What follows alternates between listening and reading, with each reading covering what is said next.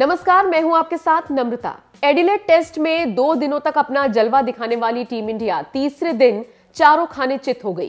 पहली पारी में तिरपन रनों की बढ़त हासिल करने वाली भारतीय टीम दूसरी पारी में महज 36 रनों पर सिमट गई। टीम इंडिया की इस हार के बाद हर ओर उसकी आलोचना ही हो रही है। पाकिस्तान के पूर्व तेज गेंदबाज शोएब अख्तर ने भी टीम इंडिया को ट्रोल करने में कोई कमी नहीं छोड़ी। उन्होंने सोशल मीडिया पर पोस्ट किए गए अपने वीडियो में टीम इंडिया का मज़ाक उड़ाया। शोएब अख्तर ने एडिलेड में टीम इंडिया की हार के बाद उसे ज़बरदस्त अंदाज में ट्रोल किया। शोएब अख्तर ने अपने यूट्यूब चैनल पर कहा, मैं जब सुबह उठा तो मुझे लगा कि भारत ने तीन सौ उनहत्तर रन बना दिए हैं।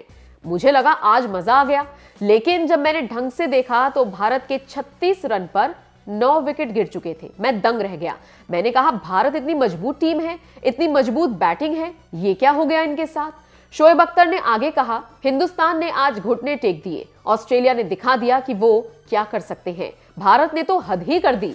पाकिस्तान तो तिरपन रन पर ऑल आउट हो गया, लेकिन भारत ने तो हमें ही पीछे छोड़ दिया।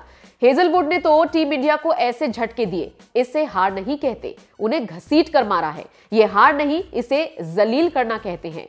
शोएब अख्तर ने आगे कहा कि इस टेस्ट मैच के बाद टीम इंडिया का कप्तान बदलने पर भी बात हो सकती है। ऐसे मैच से टीम बदल सकती है। आपको अब सोचना होगा, जो मर्ज़ी टीम खिलानी है, खिलाए। लेकिन ऐसे स्कोर तो ना बनाए। शून्य शून्य, दो दो, चार। ये कोई लूडो नहीं है। ये इंस्टाग्राम पर क्रिकेट नहीं चल रहा है। मैदान पर क्रिकेट पर ध्यान लगाओ।